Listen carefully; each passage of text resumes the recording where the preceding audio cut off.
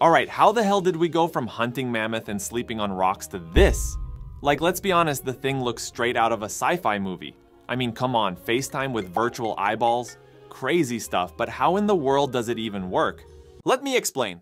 Imagine showing a Victorian child an iPhone and AirPods. They'd think you were a sorcerer. We take this stuff for granted, but it's actually mind-blowing when you think about it. But the Vision Pro takes things to a whole new level. So, how does it actually work? Well, it's not magic, magic, but it's pretty damn close. Now, imagine sticking two super fancy TVs right in front of your eyes. That's basically the Vision Pro's secret weapon, micro OLED displays that make everything look sharper than your grandma's memory of you as a kid. But these aren't your average Netflix machines, they're like little portals to another dimension. These displays, however, wouldn't be much fun without some brains behind the operation.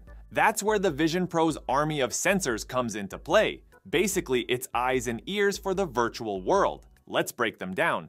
External cameras. Like tiny video cameras, they capture the real world in real time, allowing the Vision Pro to overlay virtual objects onto your actual surroundings. Internal cameras. These peek inwards, tracking your eye movements. This lets the headset understand where you're looking and control elements based on your gaze. True depth sensors. Remember Face ID on your iPhone? These sensors are similar, capturing detailed information about your face for secure logins or even creating personalized avatars in the virtual world.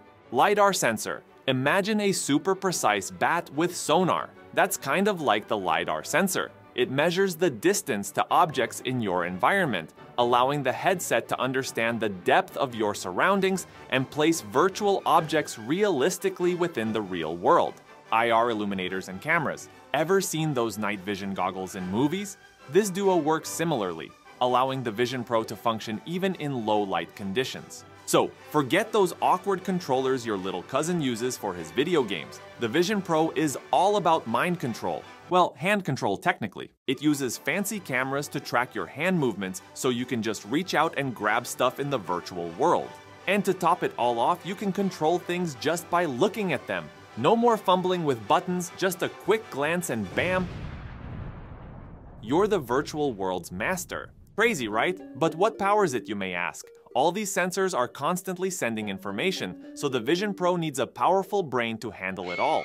Enter the M2 chip, Apple's latest and greatest processor. It's like the conductor of an orchestra, coordinating the incoming data from the sensors and driving the visuals on the displays. But it doesn't have to do everything alone. R1 chip is always there to help. Think of it as the M2's right-hand man. While the M2 takes care of the overall processing, the R1 focuses on one crucial task, handling the real-time sensor data.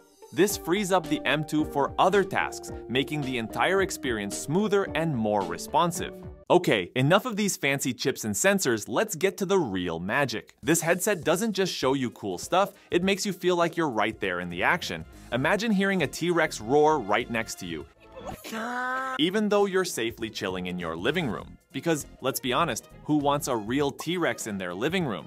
That's the magic of spatial audio, making your ears think they're on a wild adventure while your body is firmly planted on the couch. Thank goodness. So, there you have it. Don't forget to touch grass and subscribe.